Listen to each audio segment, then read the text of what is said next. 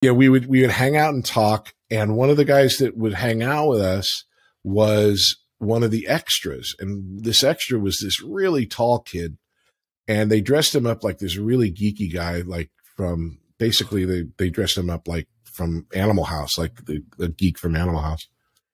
And so he was always in the scenes with us because he was taller than us. They could put him in the back and he, he would be really, you know, he'd look really good. So we started talking to him and it's like, you know, he didn't have a SAG card. So me and Jason and Evan, the guy that played the lead, talked to the producers and said, look, you got to Taft Hartley this guy. He's, you're putting him in everything and it doesn't cost you anything but like 200 bucks. And it would be a start for him.